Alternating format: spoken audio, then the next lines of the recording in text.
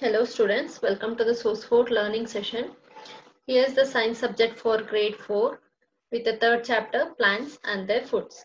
From this chapter we are going to learn how do plants prepare food and the plants that does not make their food and feed that plants that feed like the animals and plants and animals depend on each other. These are the topics we are going to cover in this chapter.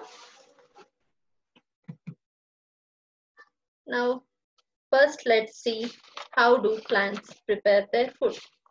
As usual, all living things need the food to live. The same wise, the plants also need food to live.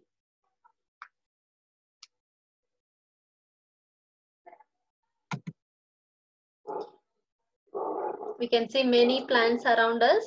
They are the living things. Some plants will be big and some plants will be small in size and some plants grow on land and the other plants grow in water. Here are the different types of leaves. We, you can see the sizes and different shapes of the leaves of the plants.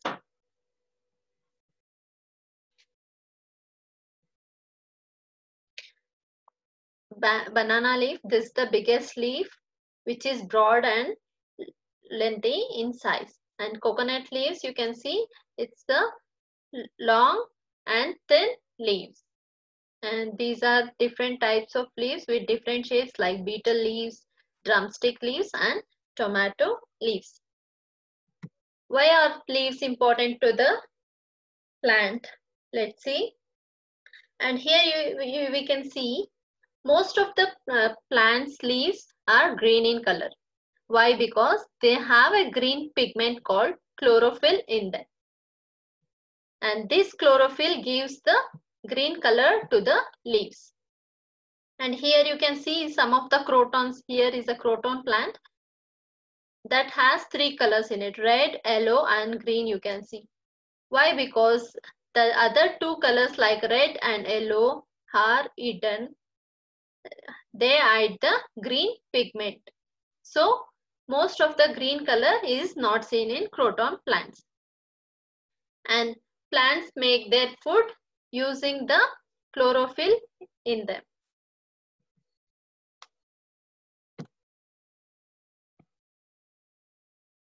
And chlorophyll is the green pigment present in the leaves which helps the leaf and the plant to prepare the food.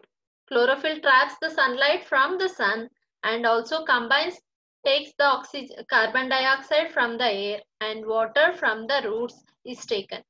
And combining all this, the chlorophyll prepares the food for the plant. This process we call it as the photosynthesis.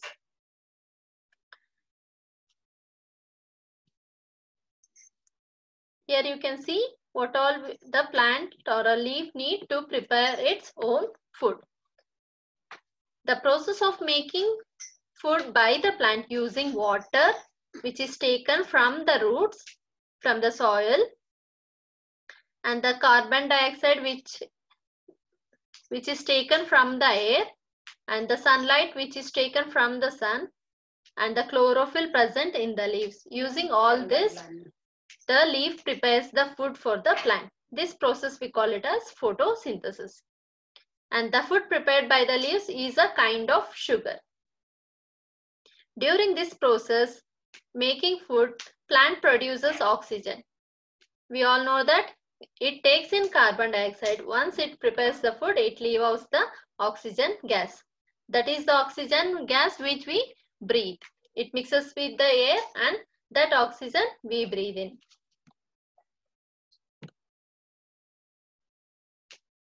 How do leaves get sunlight, water and air to make food? Where does the leaf get the sunlight? The leaf, the leaf absorbs the sunlight that falls on them. Here you, the leaf has a broad surface on the leaf so that it is arranged in such a way that it can take enough sunlight which falls on the surface of the leaf.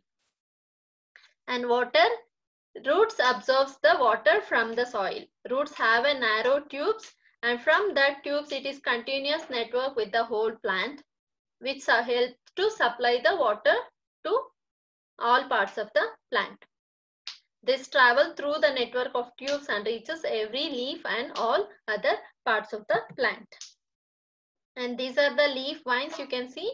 Fine line-like structures on entire leaf which are narrow tubes. These we call it as leaf veins. And the center part we call it as the midrib. And the outer part we call it as the leaf blade. And even the main veins have a smaller veins which we call it as small netted veins. And this part which connects the branch to the leaf we call it as the petiole. And the other small leaves which come out from the branches we call it as stipules. And the main leaf is the center midrib. And veins help in transport of food and water to the plant. They also support the leaf. And carbon dioxide. Where does the carbon dioxide, where does a plant or a leaf get the carbon dioxide? It is mixed with the air.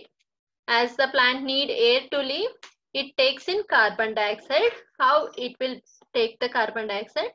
You can see on the leaf, we there are the tiny holes, small holes on the surface of the leaf which cannot be seen through eyes and only it is so seen through the microscope. The holes present on the surface of the leaves is seen through the microscope that helps in taking in the carbon dioxide present in the air and helps in making food for the leaf.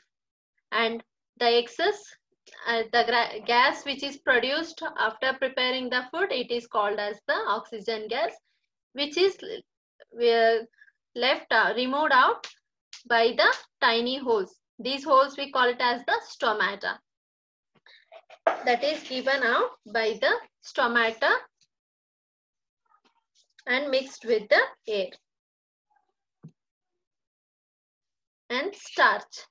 What is starch? Does all the food prepared by the leaves will be used by the plant? No. All the food which is prepared by the leaf is not fully used. Some part of the excess amount of food that is not used by the plant is stored as the starch. Starch is stored in roots, stems, leaves, fruits and seeds. See, these are the different parts of the plant which stores the starch. When we eat fruits, vegetables, nuts, rice, wheat or potato, we actually eat the food that is prepared by the plant for its use.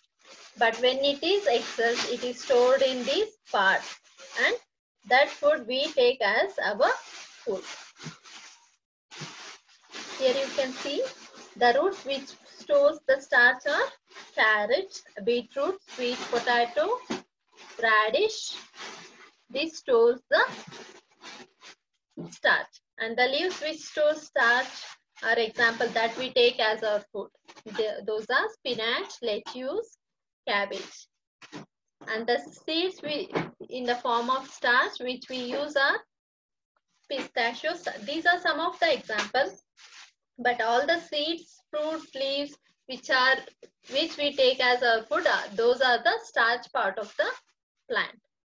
Here's the pistachio, cashew nut and walnut.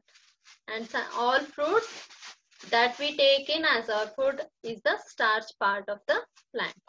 And the stem, potato, ginger and sugarcane. And the flowers we can see broccoli, cauliflower and artichoke. And this topic we can cover in the next class.